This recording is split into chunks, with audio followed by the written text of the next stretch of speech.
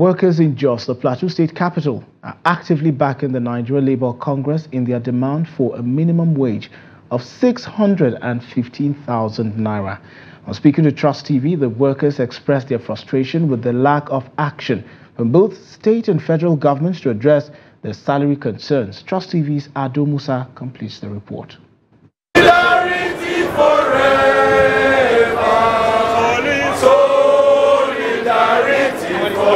Nigeria Labour Congress recently made public its proposal for a new national minimum wage of 615,000 naira, which will mitigate the current economic hardship and high cost of living in the country. Several workers in Jos, interviewed by Trust TV, emphasized the necessity of a salary increase to alleviate their financial struggles amid Nigeria's challenging economic conditions. They highlighted their inability to cope with the current economic realities on their current wages, highlighting the urgent need for a rise to improve their standard of living. The level of uh, inflation in the country and then the uh, skyrocketing of uh, price of goods and services in the country have increased. So based on that, I am in support of what Labour is trying to or is proposing to the federal government to pay the average civil servant because because of the inflation. And then uh, day by day if you go to the market what you buy today and then if you go back to buy again it has increased. Is the agitation of labor is indeed fair.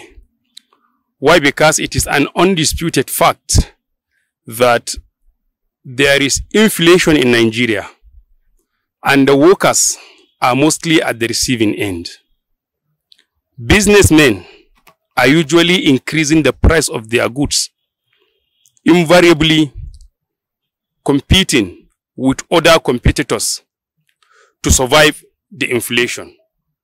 While the workers, while the workers' salary remains stagnant, going the same market with these businessmen, whereby many of them could not put food the, on the table. Why? Because the meager amount or the, their salary could no longer sustain their needs. Other respondents who are not salary earners share their views on the ongoing national debate about the minimum wage. If the salary of the workers increase, the, the workers will be purchasing more goods. Because now, due to the due to the inflation, now the inflation started reducing, the, the workers start purchasing things higher than before. The argument from the part of the labor is a, is a valid one naturally, periodically, the government of the country should check the excesses in the country and the, the, level of inflation in the country and be able to see how it can readjust the living sal the salary of its workers, which will in the larger, which will affect the whole larger community.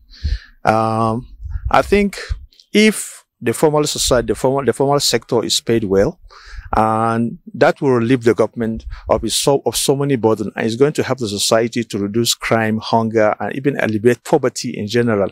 Children can be able to go to school and most family can fare well. And by so doing, I personally as a self-reliant or self-employed somebody will be able to see the money on the street because there will be cash flow in the, into the economy, which will help my business and I will fare well. The tripartite committee set up to review the national minimum wage is still navigating preliminary negotiations, which will present the government with an agreed amount. Ado Musa, Trust TV News, Jos.